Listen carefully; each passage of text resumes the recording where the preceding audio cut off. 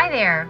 My name is Amy Dayries, and I'm a dentist outside of Atlanta, Georgia, and I would like to say I practice integrative dentistry. Uh, what I mean by that is we try to look at the whole body through the mouth, and we, when we see a sign of disease that affects the whole body in the mouth, we notify our patients about that and try to offer supportive therapies. And today I would like to talk about transforming our healthcare system by looking at models that identify health instead of focusing on the disease. By looking at our health, we might be able to support our health better and offer new paradigms to people for healing. My guest today is Dr. Arlene Dijamco, and Dr. Dijamco runs a business called All Worlds Health. She's an integrative medical practitioner. She's a medical doctor with degrees from Emory and Harvard, and also you did uh, at Arizona State University an integrative health fellowship and I'm very pleased to have you on my show. And we have a number of mutual patients. Dr. Dijamco practices thank you. in the Atlanta area too. Yes, thank, thank you, you so on. much for having me. this is an amazing topic um, to bring up and so timely right now. And um, I like to say transformative medicine because right now we have a mostly disease model of healthcare where we are looking for what's wrong with you instead of looking for what's right with you. What is that spark of life in a person, and how can we support that? How can we draw that out of a person? That's very a really different focus than what we usually encounter when we go to the doctor. So, how do you start looking at that spark of health? So to speak? Well, as soon as a person walks in a room, then you can see just um, their whole being. And so there's so many layers to it in terms of how a person feels balanced. Because a lot of people that come to see me, sometimes sometimes they prefer a more natural way of doing things, but sometimes they've been through to many different healthcare practitioners or many different specialists, um, medical specialists, and they're saying, I don't feel right, but they have difficulty like figuring out what to do with them. They're not sure mm-hmm. what's wrong with them. So when we, they come to see me, we look from many different perspectives because it's not just the absence of disease. It's not just, well, I couldn't find anything, so therefore you must be healthy. It's more, how are you as a whole? How's your whole being? How's your physical state? Are your physical functions working? Are you sleeping well? Do you feel relaxed? Is there any tension in your muscles? And then how about your emotional state that goes along with how the body is feeling as well? Like, do you feel like you're in a good mood? Do you feel joy or do you feel down and really anxious more often? And what about your mental state? Are your thoughts fluid? Are you able to um, think through things and use your thoughts in a helpful way? Or are they looping the same thing, saying you're, you're not good enough, or there's something wrong with you, or you wish you were better? And then there's that spiritual balance too. So that's when do you feel connected? Do you mm-hmm. feel connected with yourself as a being? Do you feel connected with other beings, with other people, animals, the earth? So when you have all of those components in balance, then to me that is health. And so you can see what layer someone needs to work on, or not, not necessarily work, but it's like which layer needs more support. More support. Yes, because when I see patients, I see their light, even if they're in, they feel like they're in the most dire of states. I'm like, I can still see their light of health mm-hmm. because there's a part of you that's your soul that cannot be extinguished. Everybody has it. And so if we support that and draw that out, that will affect all the layers. That is really, really cool. It's really, really cool. It's, it's profound. So you're saying, and I agree with you, there's you have a physical, a mental, emotional health. And really, there's a balance of all those things. One could be out of whack, and when one's out of whack, it could throw another one out of whack and have sort of a cascading effect yes. down into something that's not health anymore. Yes, and it could be on any layer. So what um, contributes to like someone not feeling well? It could maybe it is a physical injury. Maybe um, they had a car accident. Um, maybe it is an emotional trauma, and it could emotional trauma or stress. It doesn't have to be what we think of as like a big trauma. Mm-hmm. It could be that, but it could be oh you went through puberty and that was a stressful time for you. Um, so yeah, it could be mental stresses too. Just um, uh, just at your job or school or studying. It, it could be on any layer. I read a study recently, um, and it had to do with a this is a kind of a science experiment, but it was a quantum physics kind of science experiment where people's eyes might immediately glaze over. But the whole thing, the result of the study was that if you expected a certain outcome, that that actually influenced the actual scientific outcome of this study yes, with these yes. particles. Yes. So. There are so many neat things you could read about that quantum aspect and then that intentional aspect. There's a book called The Power of Eight by Lynne McTaggart, which is really taking that group intention together, and that brings in that quantum healing aspect. And really, I mean, if we want to talk about quantum, we're all great manifestors. Mm-hmm. It's what you're, it's using your mind to help manifest. If you want something in terms of like health, you want to be in that vibration, you actually have to allow yourself to feel that vibration to allow yourself to heal. It's not the other way around. It's not that, oh, I'm going to, you know, once I get healthy, then I will feel in that joy. I'll be, feel that vibration. It's like really letting yourself imagine and feel joy, and then health can come. It's like sometimes people say if you're in a relationship, you need to allow someone to love you or to, you have to be present, well, you have to you, be grounded. Yes, and even before that, it's like letting, like loving yourself. Because how can you provide love in a relationship if you don't love yourself? So, yeah, it's, it's amazing how much you can heal just even starting to shift your perspective in that way. So we're, we're, I'd like to hear more about how when people come to see you, or if you go to an integrative practice, what they might expect in terms of that support for that different type, different aspects of health. So when someone comes to see me, we'll talk about, um, you know, whatever they wanted to come in for. Some people are just coming to, to check in. Mm-hmm. And I explain to them um, we're going to look at all the different layers. A lot of people, we start from just the physical. That's a lot of times it's medical, so they're they're ready to talk about physical aspects of illness. And so if you think about the body like as a whole, and I'll pull out. I love to have this balloon prop here.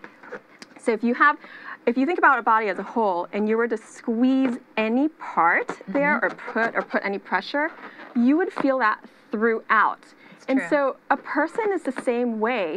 You have the whole, you're a whole being. So the part affects the whole. So you could fall like on your wrist and that impact go all the way through you and affect your ears, your sinuses, how you're thinking. Let's come back to that in just a minute. Okay.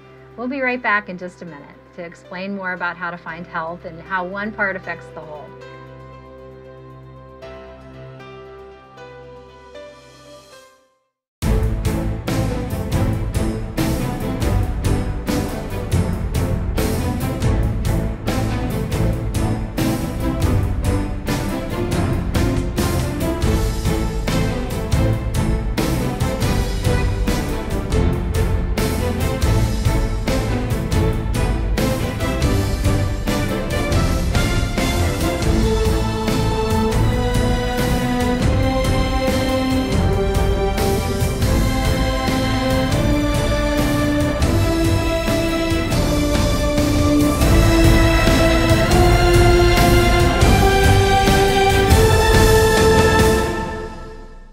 Hi, I'm Tim Ray, founder of the United Intentions Foundation, where we offer resources and programs to help others awaken to the power of their intentions.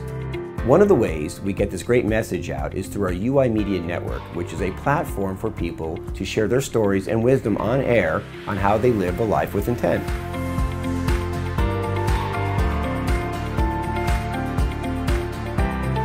Hi, my name is Jennifer Kramer, and Tim and I united to create systematic change on a global scale. We realized that there were gaps in our educational system. Kids were going home every day being bullied, teen suicide was on the rise, and our Imagine If education program helps students understand that they have the ability to create the world around them through their positive thoughts and inspired action.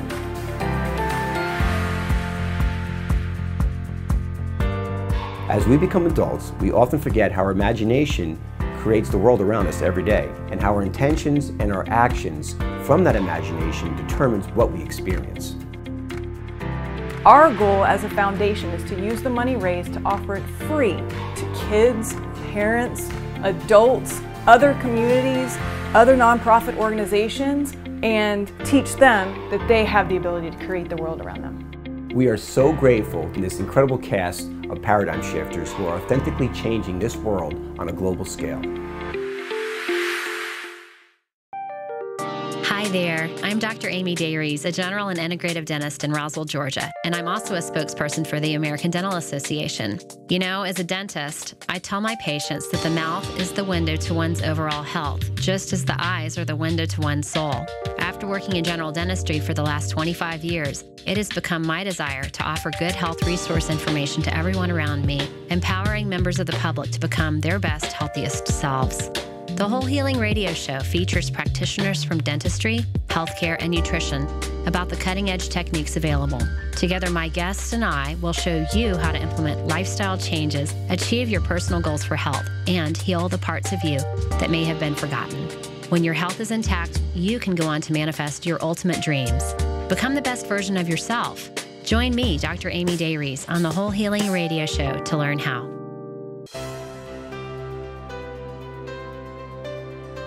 Hi, welcome back to the Whole Healing Show. And my guest, Dr. Arlene Dijamco, she's an integrative medical doctor, and we practice outside of Atlanta. I'm a dentist, but we, we're pretty close by one another.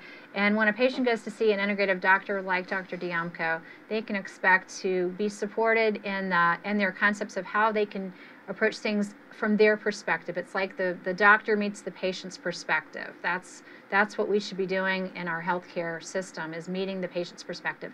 So at, at her office, for example, you might get a recommendation for a natural supplement or taking vitamins or an exercise routine. And um, so I wanted to especially focus on, for a few minutes here on one of the aspects of health that she offers or treatments that she offers, which is called osteopathic work. Yes, and I really, osteopathic medicine is one of my passions, and I am specifically a cranial osteopath, so I work with a lot of the subtle rhythms of the body. So it's a very gentle treatment, fully clothed. Um, you have a picture, I yes, think, yes, this is me treating my daughter here.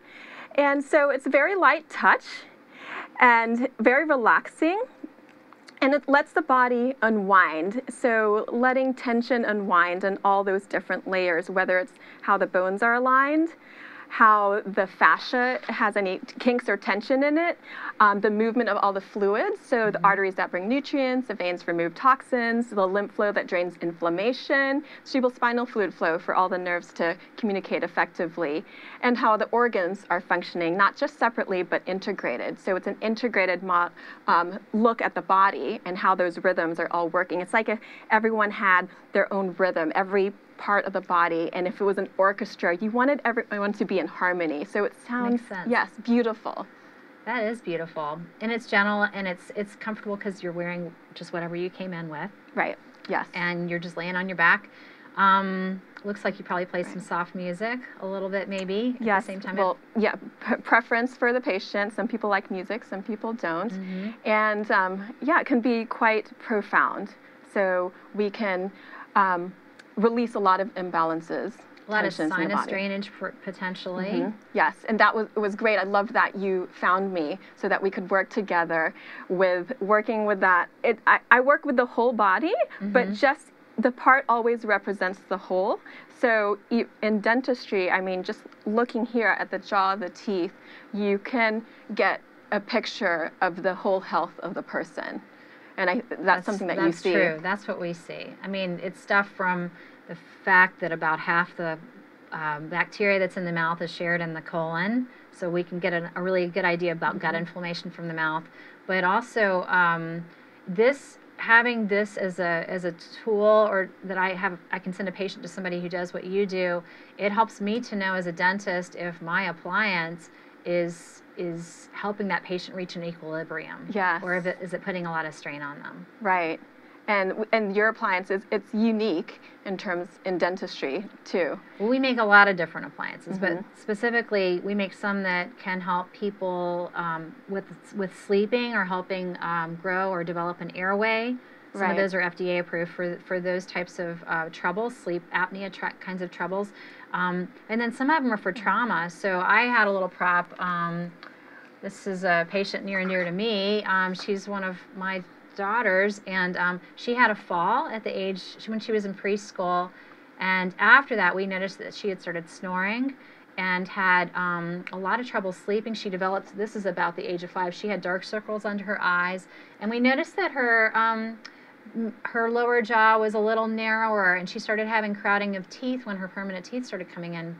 So, um, knowing what I know now, I wish I could have brought her to someone like you because she really had had this head trauma. I mean, the, the she'd fallen on her chin, just she was sort of a tomboy, had had stitches here on the bottom of her chin. But later we ended up not, it wasn't incorrect to do or anything, but it, we ended up going a surgical route. We ended up getting her tonsils out. There are some dental appliances mm-hmm. when they support the airway or help somebody unwind. Sometimes mm-hmm. you'll see a reduction in the size of those tonsils. And um, it, it really helps the person regain a new equilibrium when you can problem solve. Because um, yeah. kids shouldn't be snoring when they I've, sleep. I've seen so many kids like that and actually with very similar similar accidents where they fell, maybe hit their chin, and it kind of takes their breath away. It's it puts a shock in their system, and that's what I feel. And a lot of times, what parents will report is that, well, you know, they went to the emergency room, everything checked mm-hmm. out okay. They checked in with their pediatrician afterwards, everything was still okay, but they were missing some spark. They're like, I don't know, their eyes are not quite right, or they're they're just a little paler, but the physician said that they're okay. And you know, when I'll check those kids, it's like their whole mechanism just got squished mm-hmm. and it just needed a little support to help release whatever that shock it just went and it just needed to like settle back down and relax and as soon as that happens oh my gosh, the light comes back in their eyes. Mm-hmm. Um, this one mom, she said, I don't know, my kid, he's not, he, he talks a lot. And I was like, well, he's still talking, he's answering all my questions. And then when I treated him, right away, he just started babbling away again and just like talking, talking, talking. So she was like, there he is, there's my son.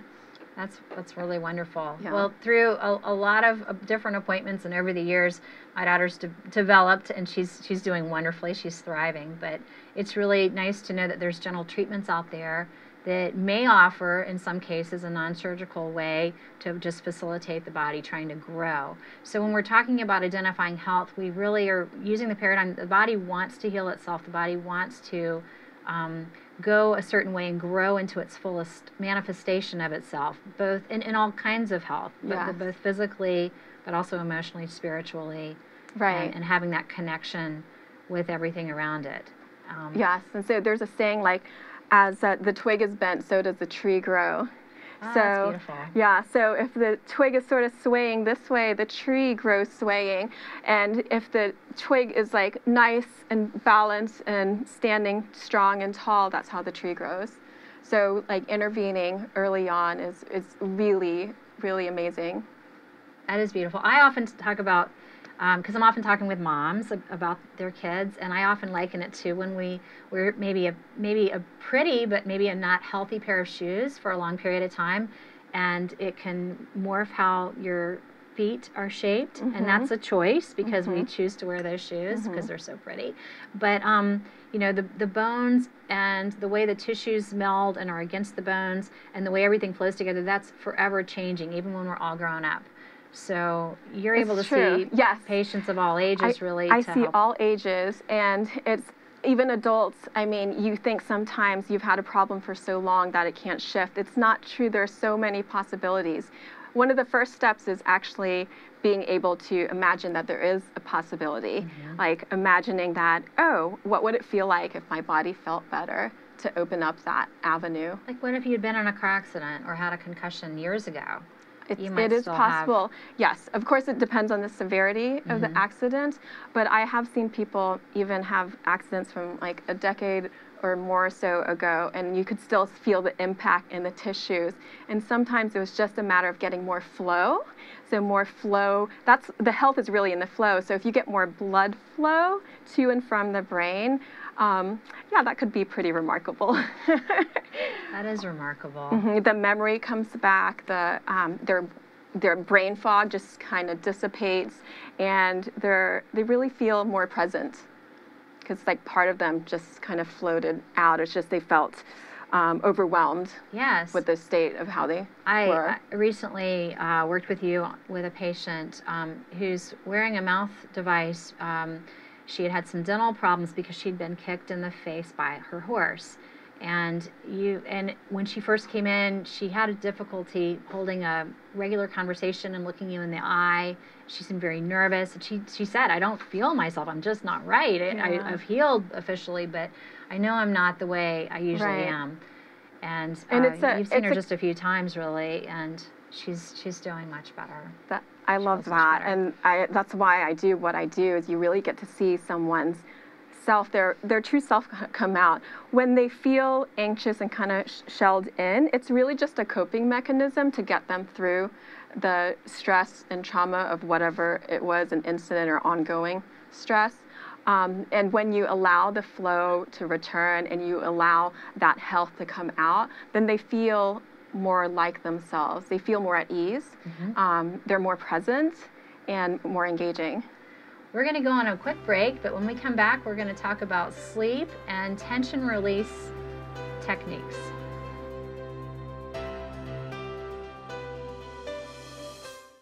Do you want to learn how you can stop sabotaging yourself? I'm here with Dr. Vern Morgan, and I think he's about to tell you just that. There's great new technology which will allow you to change the old negative programming into very positive strategies. And we do that by using and delivering repetitively these strategies, bypassing the conscious mind and influencing the subconscious mind. And to learn more, go to unitedintentions.org and click on Shop and make the authentic change today. Download the UI Media Smart app at uimediaapp.com to watch and listen to all your favorite shows anytime from anywhere in the world. Shows that enrich, entertain, educate, and feeds the conscious cells throughout your body. We bring you never heard before topics in health, inspiration, music, psychics, numerology, current affairs, controversies, and much, much more. So, what are you waiting for? Visit www.uimediaapp.com and start raising your frequency now. Hi, Val Schwan, Director of Counseling at Cumberland Academy. We just finished a group teacher training with Jennifer Kramer from Imagine If.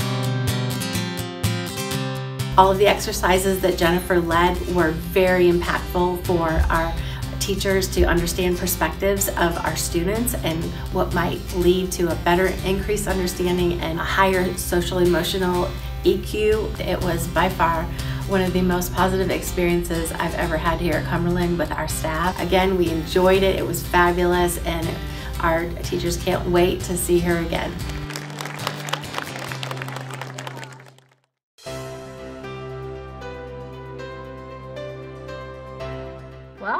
Back from our break. We're here to talk about sleep and tension release. You have a program, tension release. Yes, it's called Tension and Trauma Release Exercises. And they were developed by Dr. David Berceli. It's taught in over 40 countries. What it helps do is to help to balance the nervous system. It's sometimes called a shaking meditation because it, it uses these set of physical exercises to help us access this relaxation response in the body, which is what so many of us could use. And you've taken this, you've been to some places that have had trauma, like some earthquake Yes. places in California. Mhm. The fires in California. I'm going to be in Parkland um, in just a few weeks. Mm-hmm. So And then you, you actually will be in a field where there's been a, a situation like an earthquake, and this is something you've you've guided yeah, some people so through. it's it's really um, what it does is it helps to balance the autonomic nervous system. So you have your two arms of the nervous system. You have your sympathetic, which is your fight or flight response, and your parasympathetic, which is your sleep, digestion, relaxation response. So the two need to be in balance to just feel good, to be able to sleep well, to have good energy, to think well, to digest well. And when you're not, I want to point out too, when you're not sleeping well, that you're not in your, you're not getting that restorative sleep where you're, where most of your healing occurs.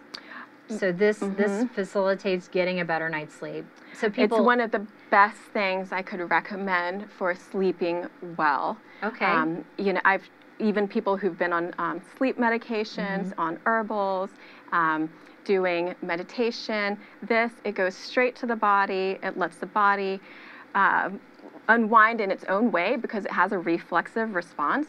And nature loves a balance. We're part of that. And when you do this, especially when you do it consistently, it can have phenomenal results. That's really cool. Mm-hmm. That's really cool. Right. And so with stress and trauma, yeah, sleep is a major, major issue. It affects every organ system. Again, the part always affects the whole, so it affects the whole body. That's great. Well, as a dentist, we, we make Mm-hmm. sleep appliances, but it's a whole other take on sleep. It's it's to try to help open up airway. It's to try to, um, and some of the appliances, like I was saying, can be can help people regain an equilibrium that they might not have because they're not able to breathe. Yeah. But, and um, again, an example of combinations of things are, are really amazing. So, really, the point of this program is to, to let people know out there that there are a lot of different options, a lot of different ways to facilitate your healing journey, and to try try these things for yourself. Learn about them. So we have Dr. Diamko brought us here um, a, a nice prop, actually a nice demo to explain that sort of the tipping point when your body's just had enough, or your your stress level has just been up to here, and your body's had enough. And what happens? Maybe explain. Yes, How do we we have a lot of resilience, and so um, when we're ill, when we're feeling sick, it doesn't always happen overnight.